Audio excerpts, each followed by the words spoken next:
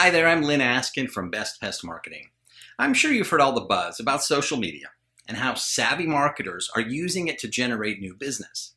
But you're probably wondering to yourself, how the heck will I, as a pest control operator, use social media to get me more pest control customers? Now, you may even think that social media is only for wannabe celebrities and reality TV stars. And trust me, you're not alone.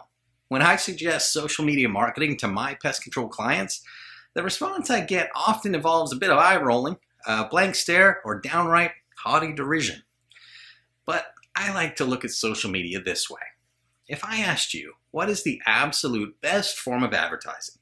I'd bet almost anything that you'd tell me that it's word of mouth and referrals.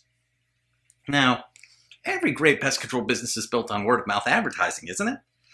If you provide a great service and you make your customers happy, then of course they're going to tell their friends and their family about you and send new business your way. Now that's the best advertising there is. So what does that have to do with social media? I'd like you to think of social media as word of mouth advertising on steroids. Like it or not, social media has made its way into the daily lives of our potential clients. From young adults to the oldest and the greatest generations, nearly every one of your potential customers are spending time on social media. They're talking with their friends and family, they're sharing their pictures with their loved ones, but they're also liking, following, sharing, poking, tagging, pinning, and connecting with their favorite brands online. Now that's where you come in. By having a Facebook page and being active on social media, you make it easy for your website visitors to like and share your articles, videos, and content. And you make it possible for your happy clients to share your information with their friends, you know, like word of mouth advertising. Once somebody has liked your Facebook page or followed you on Twitter or connected with you on LinkedIn, any content you post to your social media accounts has the potential to show up in their newsfeed anytime they log in. Now, it can not only be seen by them, but can also be seen by their hundreds of family and friends. Now, how do you get the most out of social media?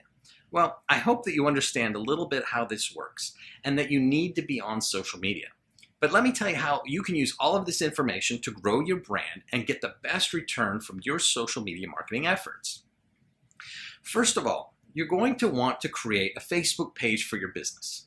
Now, you're going to want to make sure that you're creating a business page and not a personal profile. There is a big difference.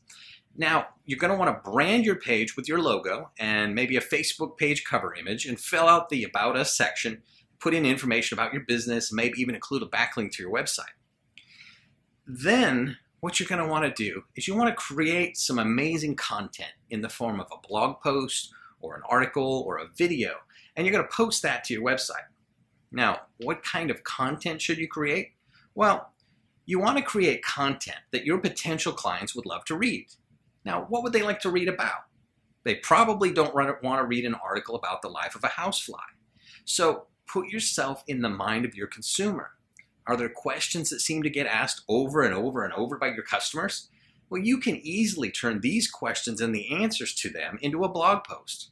Now, maybe you write an article about how to have a pest-free backyard barbecue. In any case, you're going to want to educate them and entertain them. Now that you've got these great blog posts on your website, you need to share that content across all of your social media platforms. You're going to post your article to Facebook and Twitter and LinkedIn. Uh, if it's a video, you want to post it to YouTube and you want to share it across all your other social media profiles.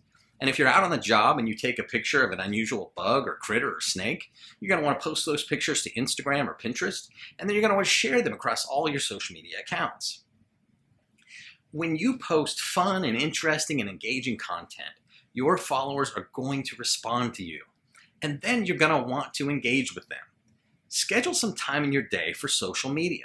Spend like 15 minutes a day responding to the comments you receive on your posts. Be responsive there are some companies out there that actually do almost all of their customer service on social media platforms like Facebook and Twitter.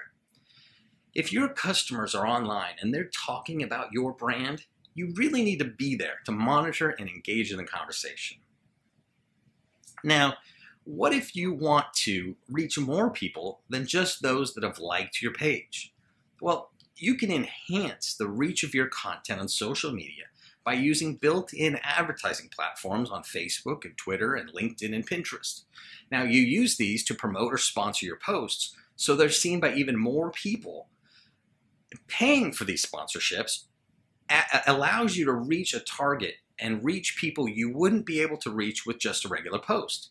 So you may want to consider Facebook and Twitter and LinkedIn and Pinterest advertising.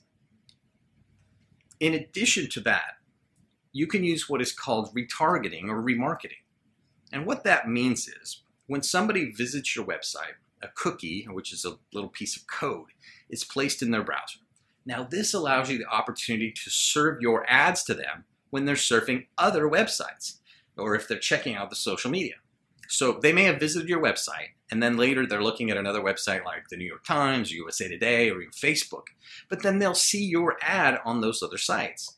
Now, that's great social proof for you and it makes you look even bigger than you really are.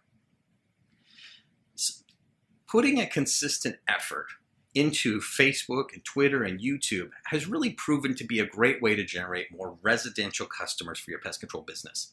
But there are other social media platforms that are better suited to generating more commercial clients. Now, if you're looking to connect with more local business owners in your area, I highly recommend that you take a look at LinkedIn. Now, LinkedIn is a social network and it's similar to Facebook, but it's really geared more towards business professionals. On LinkedIn, you can connect with other business owners in your area. Uh, you can join local groups, and there are even a couple of very large pest control pest control groups on LinkedIn that you should be a part of. Now, to wrap this up, there are really a lot of different ways that you can use social media to gain new customers and grow your pest control business. I understand it can be a bit confusing and intimidating to just jump in and start posting. But the good news is your competition they're probably even more confused than you are. So I hope I've shared some knowledge with you today that puts you a few steps ahead of your competition. Now, let's make social media a part of your marketing, a full-time part of your online marketing system, and let's leave that competition in the dust. So if you have any questions about using social media or online marketing to grow your pest control business, give me a call. Let's talk about it. You can reach me at 866 207 2378, or you can visit us online at www.bestpestmarketing.com. Looking forward to hearing from you, and thanks for spending time with me today.